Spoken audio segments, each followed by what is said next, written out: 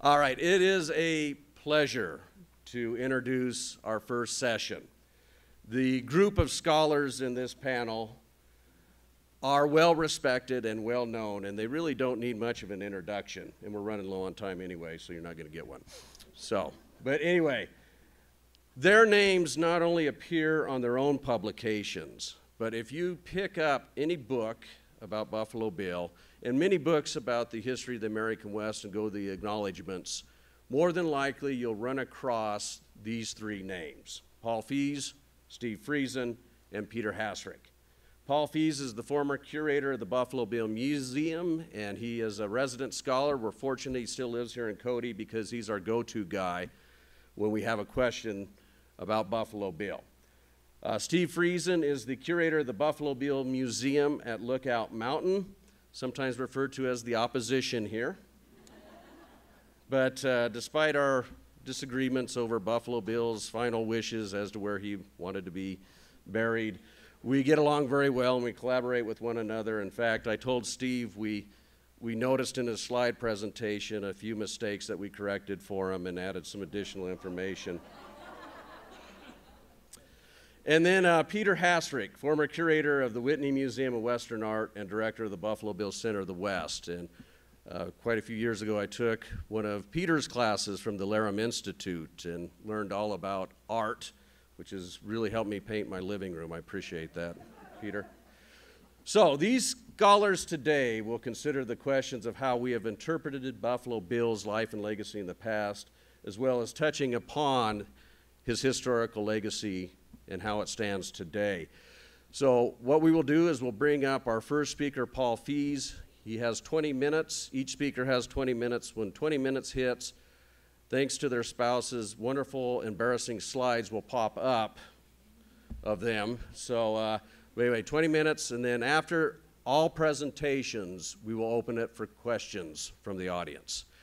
Uh, we do have a wireless mic that we will pass around, so if you have a question, please, please wait for the mic to get to you. So, without further ado, I'd like to introduce Paul Fees.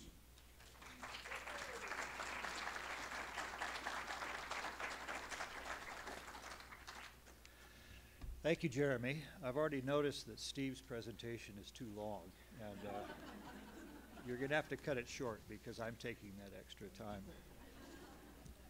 I put this on paper to give the illusion of organization, but uh, it's just an illusion.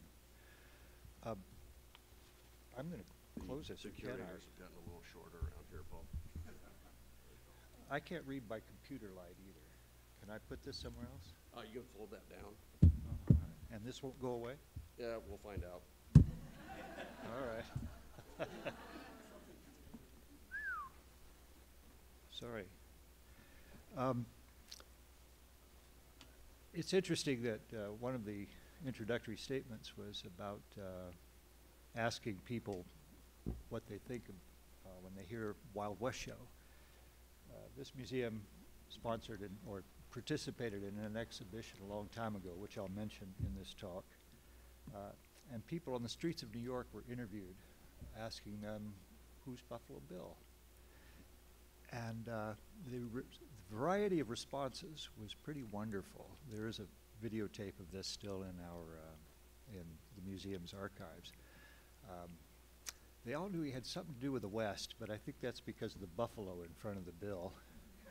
Uh, I don't think that we're going to find, if we ask nationally uh, about Wild West shows, that people are really going to be as aware of Buffalo Bill's Wild West as we in this room are.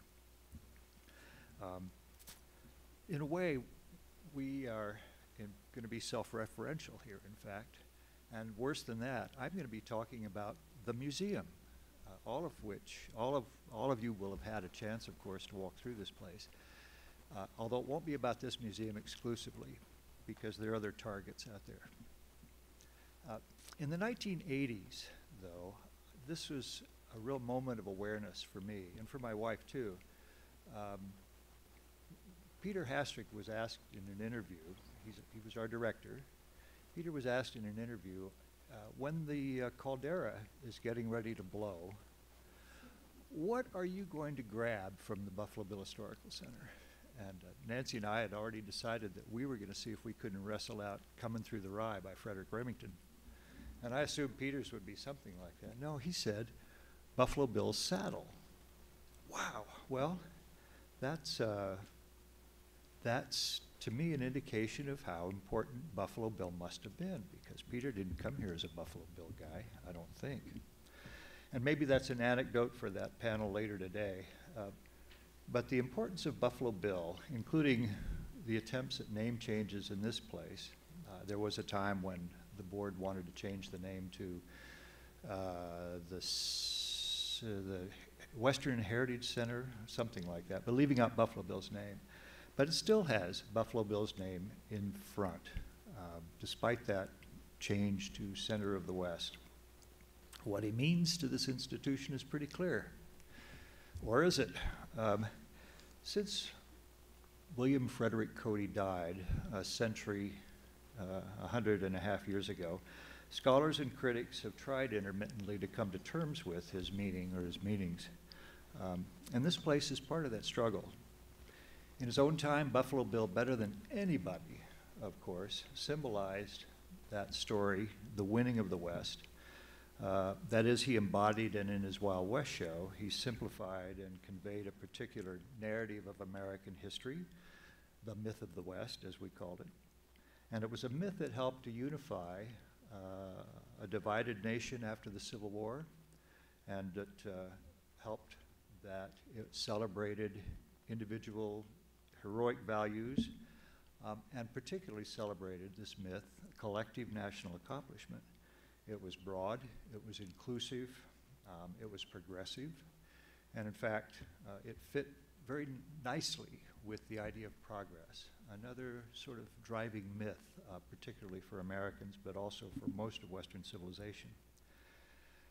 However, um, that myth itself and the narrative, and certainly the winning of the West part of the narrative, became over the years as ambivalent as the various understandings of Buffalo Bill himself. And the understanding of Buffalo Bill, uh, by scholars particularly, um, jibed in a way with, um, with our national perception of the role of the West in American history.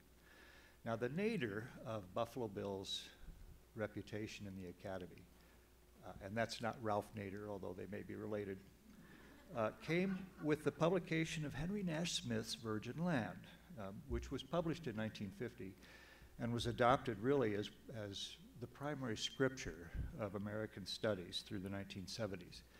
Um, Smith was the uh, founder, in a sense, of what was called the Myth and Symbol School of American Studies. That's the, uh, that's the school of approach to American culture, in fact, that I was steeped in in graduate school.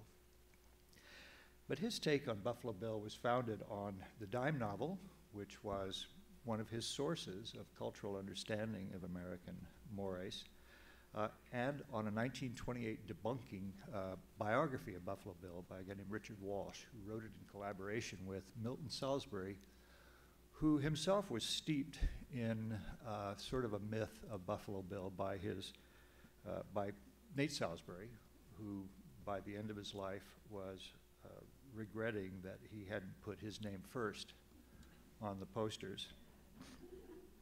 Um, Smith said, it was an accident plus a natural gift for dramatizing himself that made Buffalo Bill such a center of attention. The accident he's referring to is his discovery by Ned Buntline. And uh, the story that he understood from Walsh's biography and from other sources was that Luther North slander that said when Ned Buntline came looking for Frank North or Wild Bill Hickok, um, North said, no, what you want is, and pointed to the form of Buffalo Bill lying probably drunk under a wagon. Um, later, during one of those boomlets in Buffalo Bill's fame, uh, which I'll explain, um, in 1989, uh, and coincidentally, that's the same year that Patricia Limerick, who may be here somewhere, uh, came out with her uh, Not a Manifesto, which is a collector's item for those of you who kept it. Um, an historian was quoted in the Wall Street Journal an historian whom I won't name unless you ask me later. And where he got this, I don't understand quite, but he said, We're learning that Buffalo Bill was a very average person who, by his own promotion, transformed himself into an international figure of mythic proportions. Uh, but my, uh, my favorite uh, quotation from that, that spate of things that were being said in the press then in 1899 1989 was from the New Haven Register, which printed that Buffalo Bill represented, quote, a fraudulent mythologizing of greed and corruption. Well, the myth of the West was under attack in many places. Uh, the Smithsonian was about to come out with its uh, exhibition, The West as America. It was the end of the Reagan presidency and the beginning of um, the first Bush, of course, and uh, uh cowboy diplomacy was coming uh, into uh, people's focus as perhaps something else that some other, there must be some other way to approach the world. And the idea of progress itself was in question, and there were people writing about the death of progress. I'm going to go into that for just a second because it does, despite the way this is going to sound, have some relevance for the history of Buffalo Bill and the museum. Um, the United States, of course, was born in the 18th century Enlightenment. Uh, uh, Enlightenment was an article of faith, and the American Revolution and the subsequent um, pressing of Americans into, of American civilization itself into the wilderness uh, during the early national period um, began to make even otherwise pessimistic observers, uh, like New England divines, optimistic that enlightenment could be a democratic process. So the myth, uh, or uh, of the, win- uh, the myth of the West, or of the winning of the West, took root before the Civil War, and it blossomed afterward uh, as it became truly a powerful unifying force. Um, and uh, in the face of political and economic, have I talked that long already, Sam? You're really in trouble, Steve. Um, anyway, uh, scholars questioning the uh, idea of progress have said things like Leslie Fiedler said famously that um, the pilgrims who came here found only disillusionment and left only disillusionment for the rest of us to find.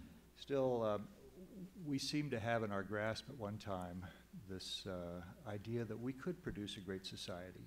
And certainly the myth of the West had a lot to do with powering that. Um, among Western historians, at least, it was the new Western historians who first saw that uh, perhaps that myth, as it had been articulated, had begun to play out um, I think they look back on our Western past not as a lost golden age exactly, but as uh, perhaps uh, a lost age of, uh, of golden opportunity. Um, well, what does this have to do with museums? All right, first, Mary Jester Allen, the founder of this place, was a niece of Buffalo Bill, and um, uh, an agent, for a publicity agent who worked for John Burke in the Wild West show in the 1890s. Uh, she had a small collection herself of stuff related to her uncle, and of particularly of publicity materials from the show. She claimed at one time that uh, her uncle had told her when he was when they were visiting family in Seattle that he wanted his memorial to be a museum of Western history. So she established the Buffalo Bill Museum with local help in 1927. Um, incidentally, for those of you who don't know, uh, uh, it's connected with the Baseball Hall of Fame in that uh, the groundbreaking team for the Buffalo Bill Museum in 1926, Tris Speaker, Ty Cobb.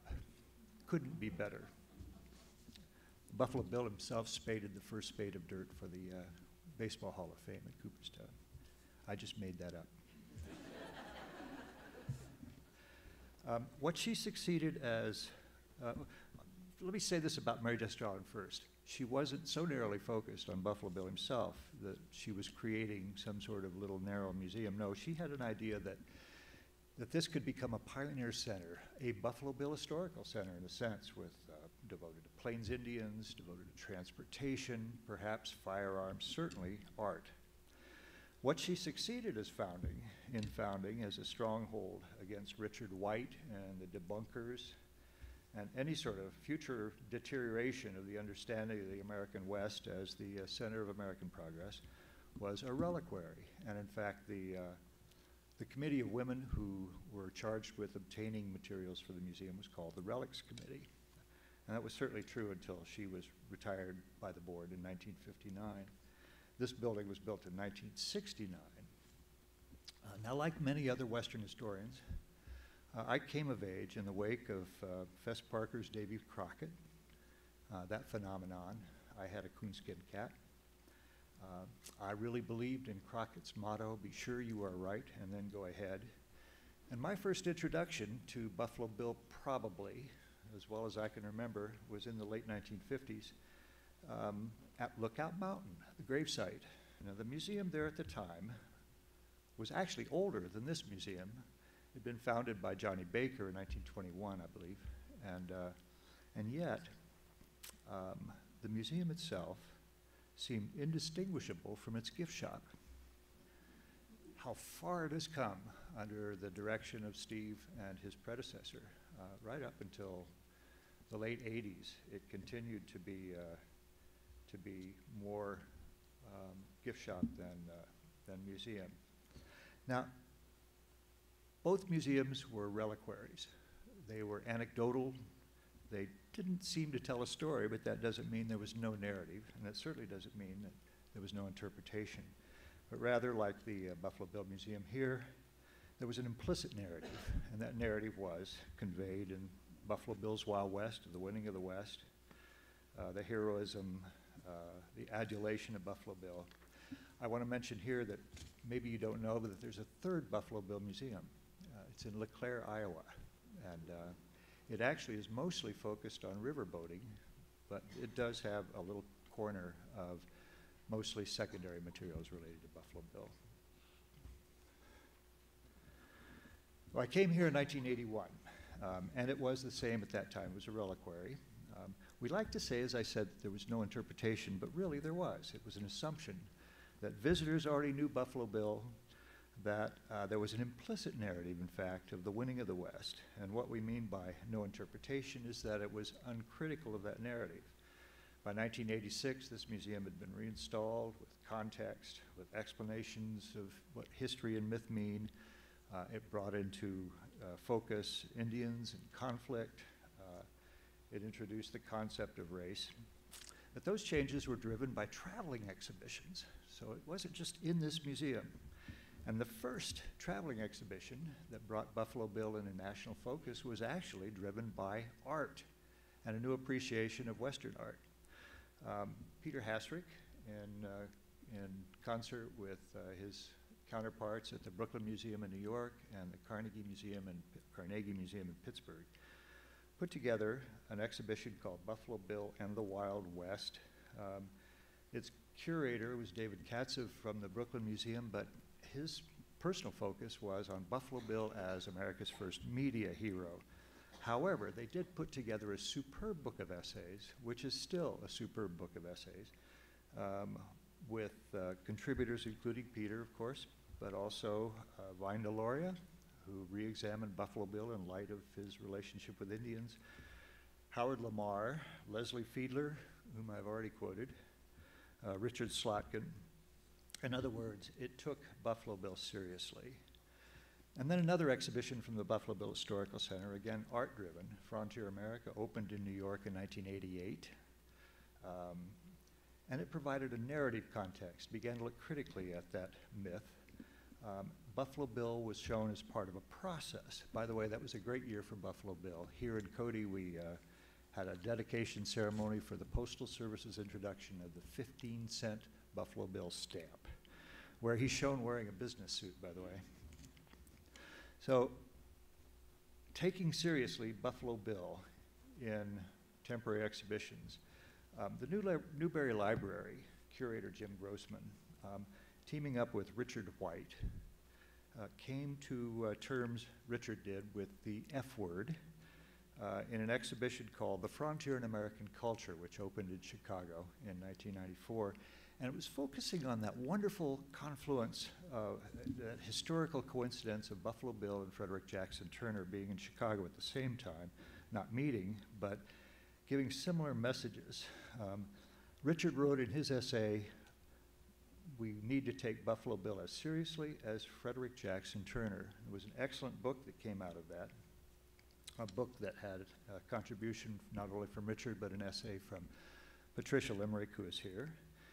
And in her essay, by the way, Bill Kittredge of Montana had already made this observation that many people were living in a museum culture. But Patty said that one measure of the true end of the real frontier was what she called the museumization in Western life. Now, by which, of course, is meant uh, that it had become, the West had become a sort of a theme park, a, a fantasy land of authentic constructed frontier, uh, frozen in time, you know, a museum. And um, yet, it also took Buffalo Bill seriously, and there were other exhibitions. I've mentioned West as Frontier. Um, I mean, the uh, myth of the West and, uh, and the West as America. Uh, the myth of the West was one that showed Elvis, my favorite image, Elvis as a cowboy. Um, the Royal Armories Museum closed out the 20th century and introduced the 21st with an exhibition called Buffalo Bill's Wild West, which attempted to lay to rest misconceptions about the man and to show his influence um, on, on uh, Europe and to demonstrate the respectful treatment in the Wild West show of, the, of Indian people. What I'm saying is that museums are not static. Sometimes they're cutting edge, not often. Uh, but they are best at synthesizing uh, the latest knowledge and interpretations of history for a wider public, sometimes to a fault. Uh, this museum underwent a reinstallation a few years ago, and uh, Jeremy and the staff here are working to overcome a shortcoming in interpretation that uh, became obvious after a while. Um, in a way, this museum reverted to the way it had been before 1986, from Mary Jester Allen's time until that reinstallation. It was a reversion to the anecdotal, um, uh, with a twist. That is, uh, it assumes, as of old, that its audience knows the narrative that the museum is setting out to illustrate. In this case, of course, it's that hypercritical narrative that seemed to evolve after the 1990s. Buffalo Bill up here is almost liberated from the material culture of his life and times, and his story is divorced from historical context. So it hasn't necessarily come full circle. But as this symposium and, um, and the many presenters prove, Buffalo Bill is present and he is being taken seriously um, in his uh, influence in American culture. And as for me, I'm being forced to close. Steve, you're happy about that. Uh, my motto has become uh, the caption in a New Yorker cartoon from a couple of years ago where a man on this couch is telling his psychiatrist, but I like living in the past. It's where I grew up. Thank you.